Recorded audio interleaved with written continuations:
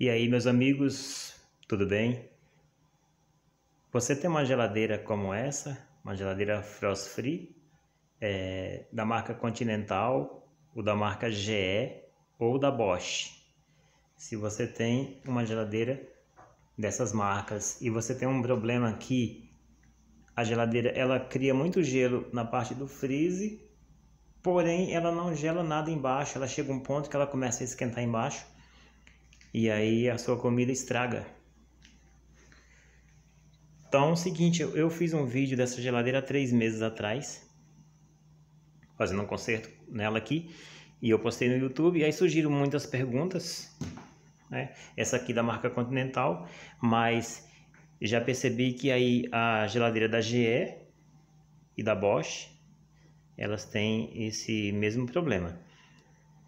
Então assim, eu fiz um vídeo há três meses atrás e hoje eu resolvi refazer esse vídeo para ver como é que ela está, porque surgiram muitas perguntas se realmente funciona, se vale a pena comprar a resistência, né, que é uma resistência de adaptação, que dá para colocar aqui no, no freeze e, e aparentemente resolve o problema. Então resolvi gravar hoje aqui de novo para mostrar como é que tá, como é que ficou a situação aqui.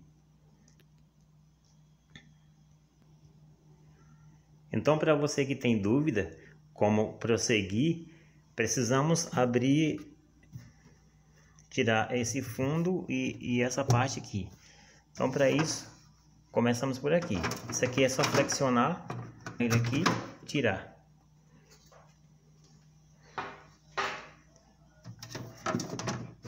Esse daqui é só erguer, tirar. Agora precisamos remover isso daqui. Isso aqui, ele tem uns engates ali dentro, porém é só puxar para lateral.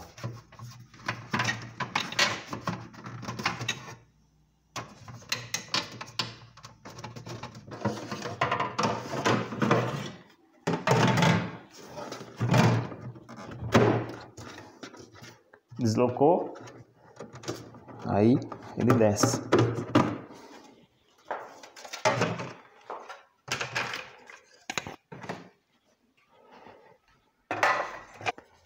Agora precisamos tirar cinco parafusos.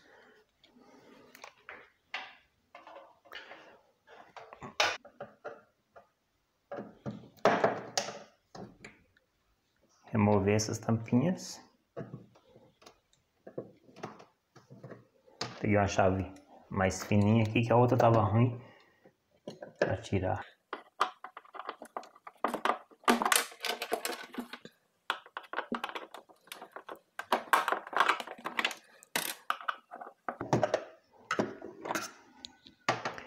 É só tirar os cinco parafusos, soltar.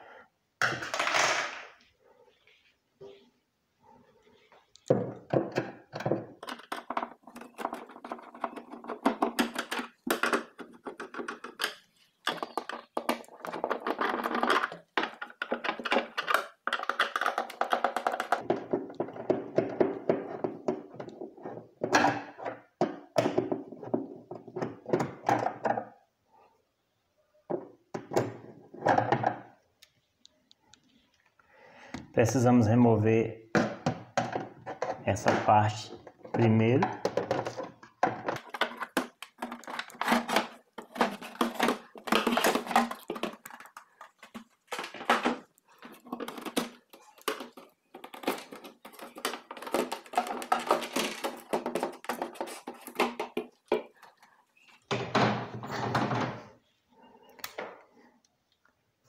levantar o isopor e ver como é que tá Aqui é a colmeia.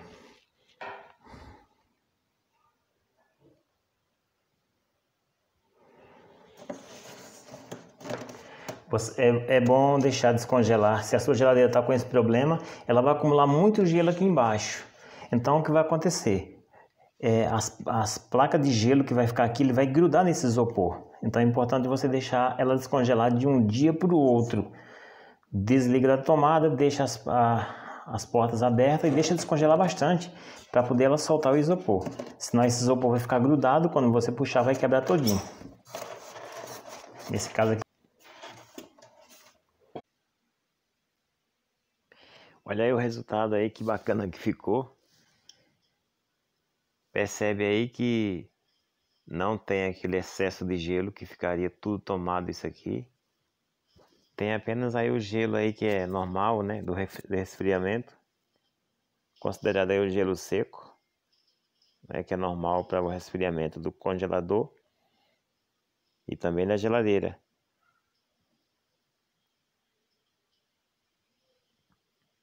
Então tá aí o resultado aí depois de três meses que eu fiz esse procedimento.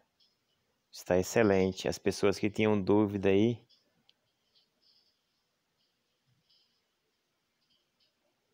vale a pena demais comprar essa resistência. Aí está ela, essa essa pretinha aí.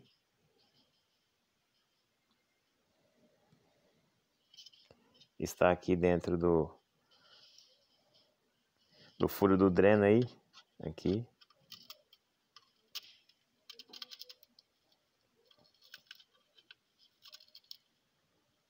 Então isso aqui ficava acumulava muita água aqui e essa água acabava não descendo e virava uma pedra de gelo. Tudo isso aqui ficava tomado por gelo.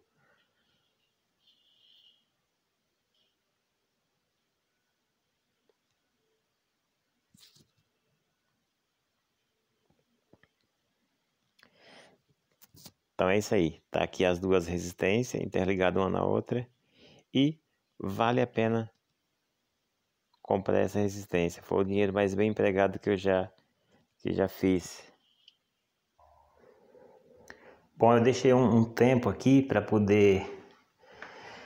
Ela não tinha, como vocês viram, não, não acumulou placa de gelo, que isso aqui ficava tomado de gelo. Tudo isso aqui ficava tomado de gelo até em cima, virava uma pedra só de gelo aqui. É tanto que ele expulsava o isopor, chegou a quebrar o isopor e até a parte de plástico que vai aqui em cima, trincou. Então eu deixei aqui ele descongelar o, pouquinho de gelo que vocês viram aqui, que era apenas gelo seco. Mesmo assim, o gelo seco ele faz com que grude a, as peças.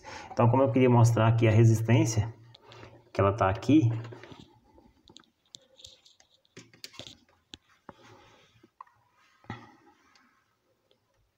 ela está interligada aqui junto com a outra resistência que é daqui o terceiro plug daqui para cá contando primeiro segundo o terceiro plug aqui. Então ela está interligada as duas estão tá juntas aqui. Essa pretinha que vai aqui. E ela está dentro do dreno aqui. Então eu vou tirar aqui para vocês verem. Teve pessoas que me perguntou falou que comprou que comprou a resistência, mas ela não veio com essa com essa cinta vermelha aqui, que é o limite, né? Até aqui que tem que colocar no furo do dreno. Aí ele me perguntou quanto, como não, não veio com o limitador, quanto que ele deveria colocar no, no dreno. Eu medi aqui, ela tá dando 30, 31 centímetros daqui da cinta até a ponta 30 e, 31 centímetros. Então você pode colocar aí aproximadamente 30 centímetros dentro do furo do dreno. Está lá o furo do dreno, por onde escoa o líquido. Antes, na resistência que tem aqui embaixo, tinha essa pecinha aqui, ó. Essa pecinha aqui, essa ponta era conectado lá dentro do dreno. Então eu tirei fora. Se a sua tem isso daqui, você vai colocar essa resistência que você vai comprar. Que já lembrando, vou deixar aqui na descrição do vídeo o link que você pode comprar na internet aí no Mercado Livre. Estão vendendo essa resistência por 30 e poucos reais. Lembrando que você tem que ver a voltagem da sua geladeira. Essa daqui é 220. Então eu comprei, lá tem como você escolher, eu comprei a resistência 220. Se a sua geladeira é 110, você vai ter que escolher a resistência 110. Você vai retirar essa parte aqui, né? Essa, essa chapinha aqui é uma, uma pecinha de metal que ela está conectado aqui na, na resistência, né? Aqui o projeto seria o que? Essa resistência aqui ia esquentar, essa peça também por trás amassada aqui em volta, ela ia esquentar também para não deixar, para derreter o gelo que acumula ali embaixo. Só que não, não chega a esquentar a ponto de, de derreter o gelo. Por isso é bom retirar ela fora, retira fora e compra essa resistência aqui e coloca aí no furo do dreno. Lembrando que ela é adaptada junto aqui.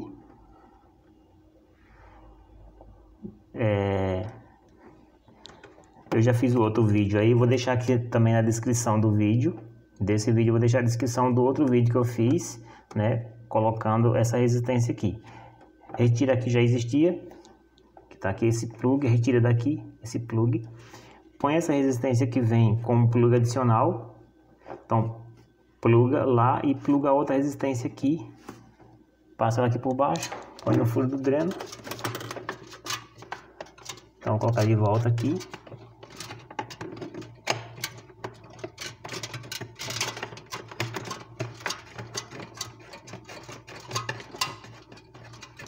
Que aí, à medida que a, a resistência é acionada, essa resistência aqui vai ficar vai esquentar, vai ficar tipo morna.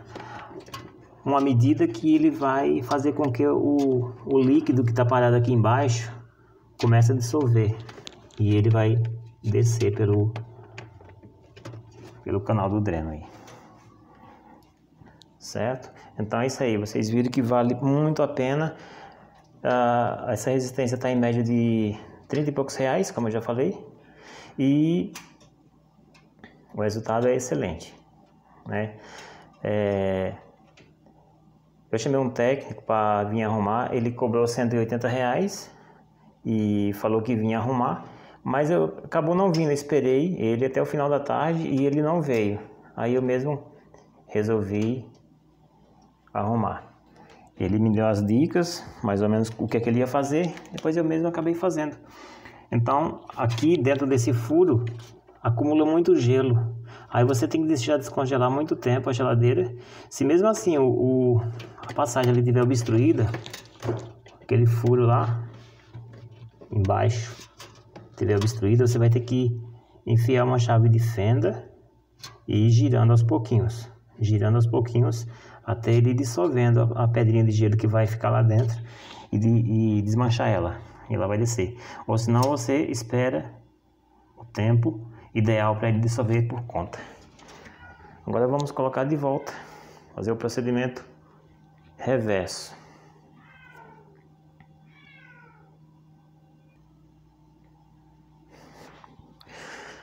Uma vez estamos organizadinho aqui a resistência, colocar o isopor.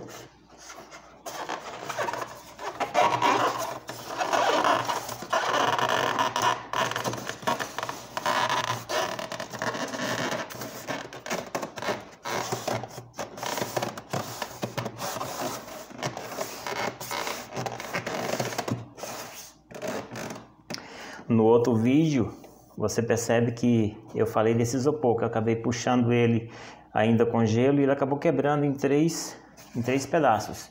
Eu tinha somente encaixado ele aqui no local, porém agora eu aproveitei o espaço que eu deixei aqui, ela, ela dissolveu um pouquinho de gelo, gelo seco que tinha acumulado, eu aproveitei para colar. Comprei a cola para isopor e colei o isopor de volta.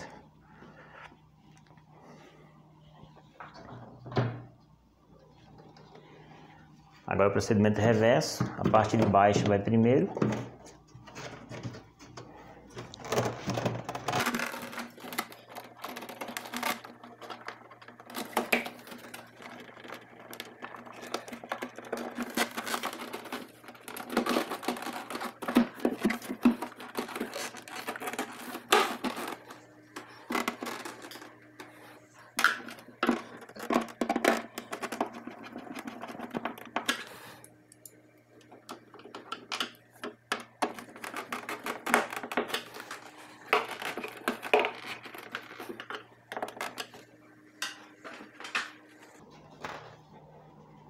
E agora vou dos fundos.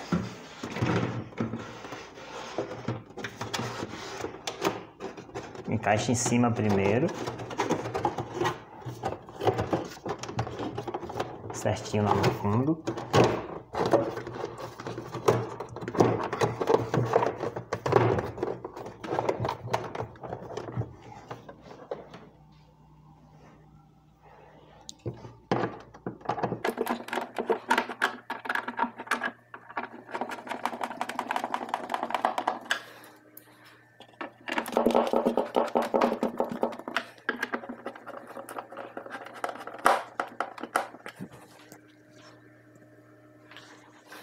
Nós colocar as tampinhas de volta aqui para esconder os parafusos.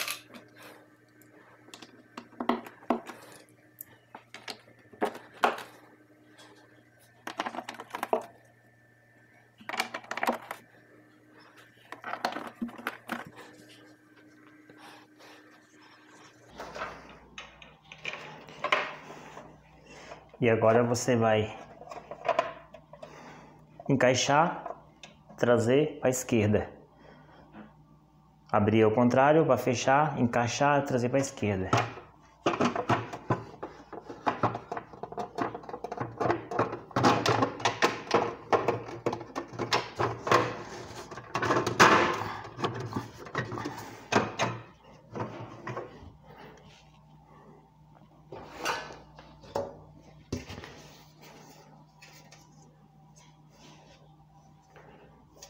Colocar de volta aqui.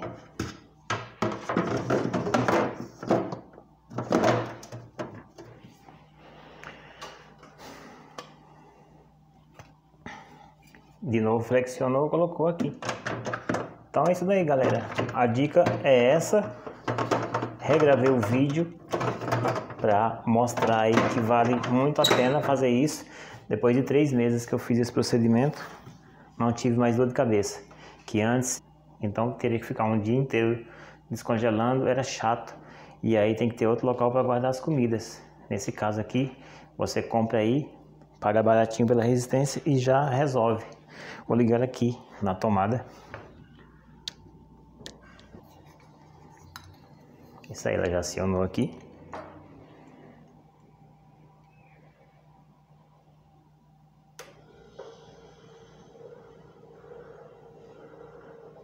Percebe aí, né, pelo barulho, acionou.